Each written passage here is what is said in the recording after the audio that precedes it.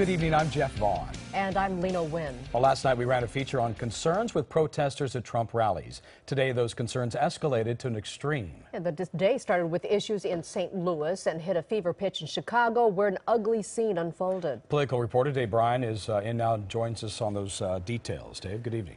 Good evening. No one knows better than you guys that how crazy this, you know, campaign has been. We've had some wild and, and woolly nights, but this really is a whole new chapter. After heated confrontations in St. Louis this morning, Donald Trump's scheduled Chicago rally was canceled before it began after thousands of protesters converged on the University of Illinois Chicago Fieldhouse with the goal of shutting down the rally. It was the night when the passions and anger on both sides of the Donald Trump presidential campaign boiled out onto the streets of Chicago and shut down a scheduled Trump rally. Mr. Trump just arrived in Chicago and after meeting with law enforcement has determined that for the safety of all the tens of thousands of people that have gathered in and around the arena, tonight's rally will be postponed until another day. Thank you very much for your attendance and please go in peace. But there was little peace in the University of Illinois Chicago arena. Fights between Trump supporters and protesters broke out across the arena floor, and police made dozens of arrests. Outside, the scene was no less volatile as thousands of Trump protesters mixed with his supporters as they left the arena. Police made arrests outside the building as well. CBS Chicago caught the violence on the streets. Police rush from their posts outside the UIC pavilion. They find a struggle between officers and a protester, and that protester finds himself subdued and bloodied on the pavement of a nearby intersection. A handful of other activists are taken away by law enforcement, the violence impacting police as well as an officer is spotted bleeding at the scene. Tonight, we won, okay? Trump told CNN's Don Lemon in a telephone interview why he decided to shut down the rally. I don't want to see anybody hurt, Don, so I met with law enforcement and I think we made the wise decision to cancel. And we made a decision, even though our freedom of speech is violated totally. Get him out, troublemaker.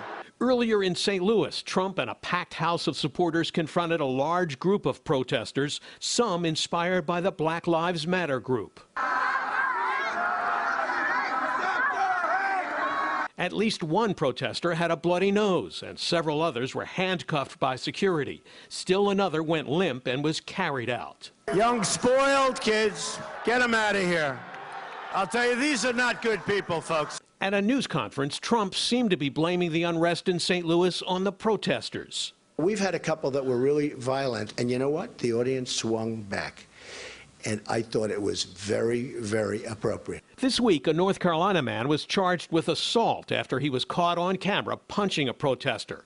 And also this week, a reporter for Breitbart News, a conservative website, filed a police report after alleging she was manhandled by a Trump campaign official. The campaign vigorously denies the charge.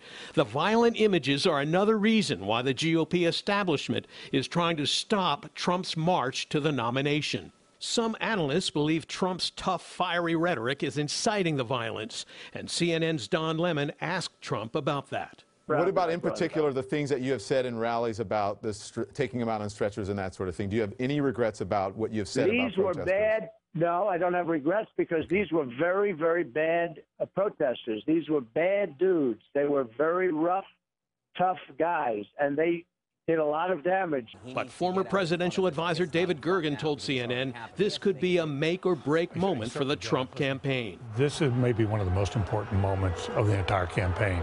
This could cost him the nomination. It could also catapult him. We don't know which way it's going to cut. I think a lot of people are going to be frightened and horrified. We had this kind of we had this kind of violence in Chicago in 1968 Democratic Convention. 48 years later, we still talk about it. Well, tonight, Chicago police told a news conference they advised Donald Trump there were enough officers at the rally to keep things safe for everyone. They say it was Trump's decision to cancel the rally despite their reassurances. And joining us now, UCLA professor of political science and communications, Dr. Lynn Vavreck. Thank you very much for joining us. Want, You're welcome, Dave. I want to ask you, first of all, do you agree with David Gergen that this could be a make or break moment for Donald Trump's presidential campaign?